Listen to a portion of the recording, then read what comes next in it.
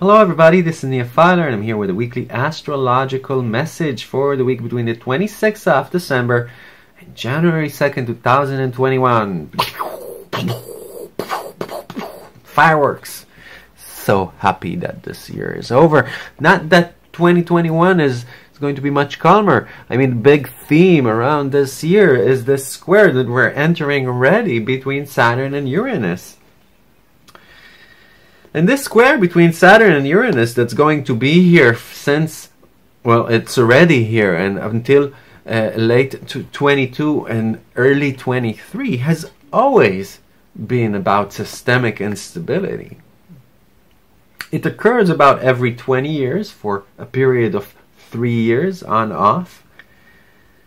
And the whole cycle of Saturn and Uranus takes about 45 years. So the inception of the current cycle happened back in 1998, 1988 to 91.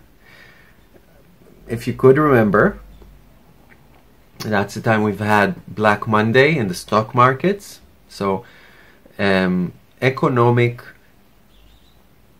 falls and, and, and, and instability is part of this uh, signature. We had the formation of Al Qaeda by bin Laden. We've had the election of Mikhail Gorbachev as premier of the USSR and his way of glasnost opening to the West, openness to the West that brought to the fall of the Berlin Wall, the um, nuclear disarmament, uh, disarmament uh, agreement between the USA and the USSR, and of course to the end of the USSR just two years later. We've had democratic protest squashed by tanks in Tiananmen Square. We've had the Chernobyl disaster just a few years before, and we've had a lot of airplane related trouble. These are all signatures of these uh, um, symbolism that we are in in the midst of again right now. Um, this has always been about progress versus uh, stability, about the future versus the past, the new versus the old, civic society versus governance and rule of law, independence and personal freedom versus communal order, radicalism versus consensual thinking. It's always about the pressing need to step forward and upgrade our human conditions and our personal responsibility as individuals within this society. It always brings civil protest and unrest. It's always about the forward movement of the structures of civilization as a result of change and innovation. And it always involves the pressing for more personal freedom from the ruling class. It brings about social revolutions and scientific and technological progress and breakthroughs and disasters.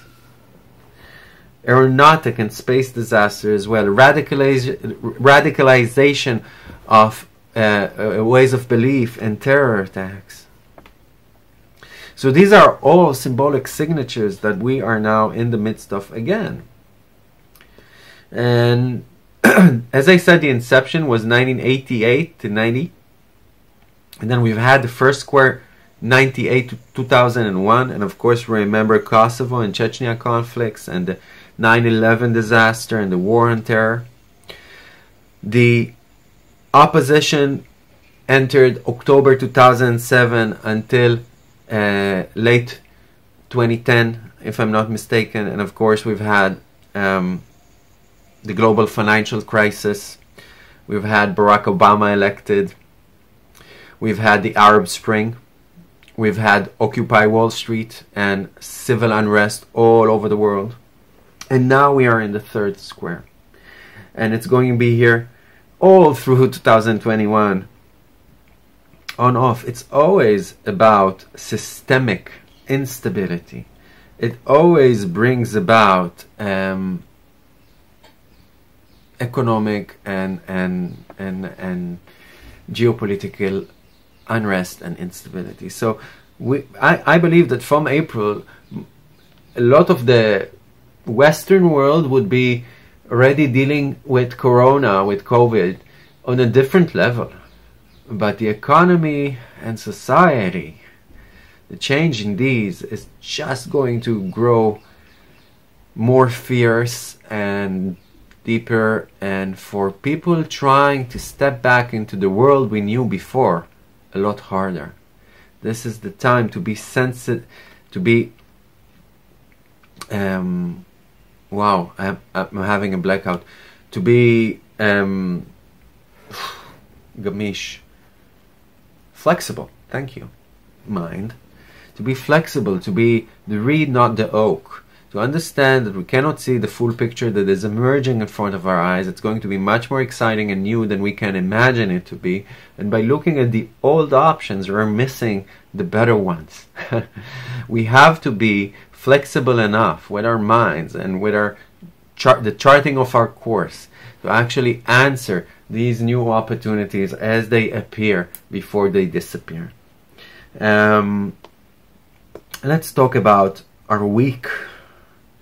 Let's talk about our week and what it brings about. So, Friday, we have Mercury trining, the 25th, we have Mercury trining Uranus this is a time that new ideas, bright ideas, inventions can come in, new paradigms, new understandings.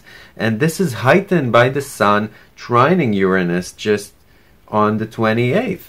These are, you know, effects that affect us all week long.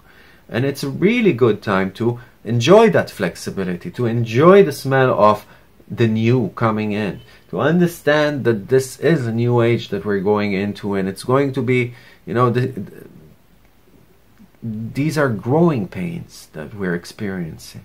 It's not going to be so hard all the way, but through these very transformative years that we are in now, yes, it is more difficult. Um, adopt ways and, and, and do things that you've never done before. Allow yourself to take yourself progr- uh, uh, um, forward in ways that you've never allowed yourself to before. Um, Saturday, the 26th, we have the Sun squaring Chiron. And again, this is something that is uh, uh, in effect for a few days before, a few days after. And then by the end of this week, we have a full moon in Cancer squaring Chiron as well. So that effect is something that is here to linger with us. This is a time that we must face the pain, face the hurt, face the wound, but handle it with silk gloves, you know, really tend that wound lovingly and and and I mean do the work, the healing work lovingly. Understanding that we need to be grateful that this isn't over yet, that we have an opportunity to actually take the places that we're hurting in our lives, in our relationships, in our being, and tend to them and make them better and heal them. That this is an, an opportunity and a privilege and yes, we are sensitive at this time. We are sensitive. Sunday is a good day to take strategic thing, things forward. And then on Monday we have the Sun uh, trining Uranus, as I said. Um, Wednesday, the 30th, is the full moon. We're going to have a heightening of energy up to Wednesday. And it's a full moon in the 8th degree, almost 9th degree of Cancer. If you want to see how you're affected by it, look for uh, uh, planets you might have in your natal chart in vicinity to the ninth degree of cardinal signs. That is um, Aries and Libra and Cancer and Capricorn. We're having the full moon that day on Wednesday the 30th as it squares Chiron.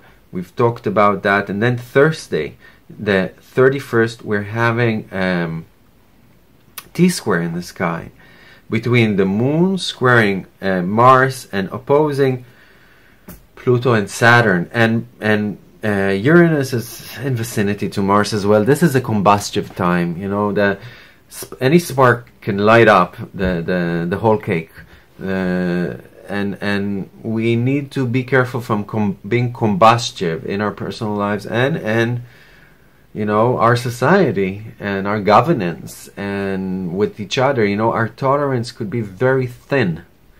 We could lose it very easily, and this is really a test for all of us to keep our calm, to keep our calm. Friday, uh, watch for exaggerations. Bad communication can be somewhat softer with Mercury sextiling Neptune on that day, which gives it a lot of a romantic, spiritual, or artistic flair. And then Saturday, we have a beautiful formation in the sky as the moon trines both Mars and Venus. So use those trines. It's a great time to be with people you love if you're not in quarantine like we are. It's a great time to eat and drink and enjoy physical activity. It's a time of a lot of, vibrance in life that we could actually feel the zest of life and squeeze it. I want to say that it's still 50% off on all readings and courses. Utilize it. It's not going to be here much longer. It's for the end of this year. and I might extend it one week after the year is ending, but that's it. So if you want to study with me via Zoom or you want to have a reading, contact me. All the details are at the end, at the slide. Thank you for listening and sharing these videos. This is Nia Fyler. May we all live long and prosper. Bye bye.